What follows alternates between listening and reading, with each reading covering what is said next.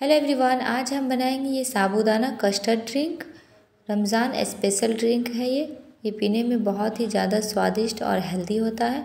तो इस रमज़ान एक बार आप इसे ज़रूर ट्राई करें। ये बहुत ही हेल्दी और रिफ़्रेशिंग ड्रिंक है। तो आइए हम अपनी रेसिपी देख लेते हैं। हम यहाँ ले रहे हैं बड़े साइज़ की साबूदाना, एक कटोरी। अब हम यहाँ दो गिलास पानी को अच्छे से बॉईल होने देंगे। उसके बाद हम अपने साबूदाना को इसमें डाल देंगे। पानी अच्छे से गर्म हो जाए, उसके बाद ही साबुदाना डालें और इसे अच्छे से चला लें, ताकि ये नीचे से जो है चिपके ना। इसे थोड़ी देर में हमें इसी तरह चलाते रहना है। एक बॉईल आने के बाद हमें गैस के फ्लेम को मीडियम कर देना है। मीडियम टू लो तो देखिए, ये अभी हमारा साबुदाना नहीं पका है, बिल्कुल ट्रांसपेरेंट हो जाना चाहिए, तभी हमारा साबुदाना पक जाएगा। देखिए, ये हमारा ट्रांसपेरेंट हो गया। अब अपने गैस के फ्लेम को बंद कर देंगे। और अब हम इसमें डालेंगे एक गिलास ठंडा पानी, ताकि इसका कुकिंग का प्रोसेस जो है रुक जाए। ठंडा पानी डालने के बाद हम ऊपर से इसका पानी को जो है निकाल देंगे और नीचे में फिर हम इसमें और ठंडा पानी ऐड करके इसे साइड में, देखिए नीचे में ठंडा पानी मैंने ऐड करके इसे साइड में अब रख देंगे। ठंडा पानी ऐड करके रखने से ये चिपकता नहीं है। अगर आप इसे छान के रख देंगे तो ये चिपक जाएगा। अब हम यहाँ ले रहे हैं आधा लीटर के करीब दूध। और थोड़ा सा दूध, एक कटोरी में निकाल लिया और इसमें ऐड करेंगे हम दो चम्मच कस्टर्ड पाउडर ये वनीला फ्लेवर का कस्टर्ड पाउडर है। आप अपने पसंद का कोई भी कस्टर्ड पाउडर ले सकते हैं, कोई भी फ्लेवर का। हमें इसे अच्छे से मिक्स करना है। हमें इसे ठंडा दूध में मिक्स करना है। उबला हुआ ठंडा दूध होना चाहिए। गर्म दूध बिल्कुल भी ना लें, नहीं तो ये गुठलियाँ पड़ जाएगी इसमें। बस हमें इस तरह से अच्छे से मिक्स कर लेना है। अब हमारी दूध इधर उबल चुकी है, अब हम अपना कस्टर्ड पाउडर के मिक्सर को अच्छे से मिक्स करके इसमें डाल देंगे।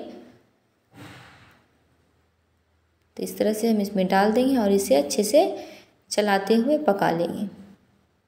कस्टर्ड पाउडर का मिक्सचर डालते ही हमें फ़ौरन से इसे चला लेना है, वरना ये नीचे तले में जाके बैठ जाता है। तो देखिए, हमें इस तरह से लगातार चलाते हुए पका लेना है। हमें इसे ज़्यादा देर नहीं पकाना है, बस एक से दो बॉयल आने तक इसे अच्छे से पका लेना है मिक्स करते हुए।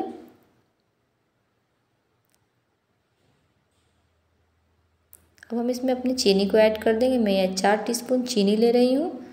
आप अपने मीठे जितना आपको पसंद है उस अकॉर्डिंग से चीनी ले लें। बस अब हम इसे ठंडा हो कर लिए हैं। अब हम इसमें अपना साबुदाना को ऐड करेंगे। तो देखिए, हमें एक बाउल में इसे निकाल के थोड़ा पानी वाला ही इसे रख दिए थे। ये बिल्कुल भी नहीं चिपका है। ये बहुत ही आसानी से मिल जाएगा। अगर आप इसे छन्नी में छान लेंगे तो ये एक दूसरे से चिपक जाएगा पूरे साबुदाना। देखिए, ये फ़ौरन से ही इसमें जो है कस्टर्ड वाले मिक्सचर में घुल गया, मिल गया है। अब हम यहाँ डाल रहे हैं जेली। आप जेली स्किप भी कर सकते हैं। अपने पसंद का कोई भी जेली डाल सकते हैं। अब हम इसे गार्निश कर लेते हैं कटे हुए बादाम से। आप अपने पसंद का कोई भी ड्राई फ्रूट ले सकते हैं और थोड़ी पिस्ता से।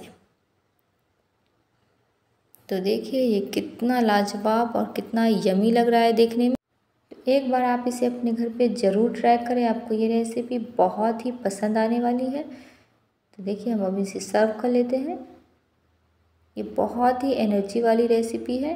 हेल्दी तो होता ही और टेस्टी भी बहुत ज़्यादा है। तो इस रमज़ान एक बार आप इसे ज़रूर अपने घर पे ट्राई करें।